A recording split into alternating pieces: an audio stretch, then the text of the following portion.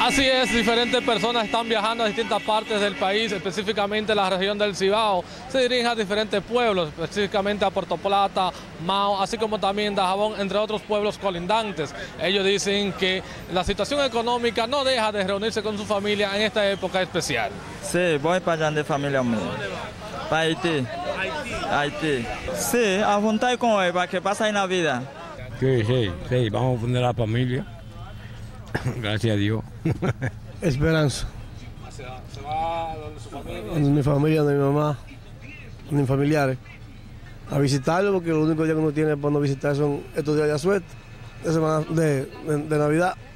Para Mao, para mi casa. Nada, estaba donde mi hija aquí. Voy para mi casa.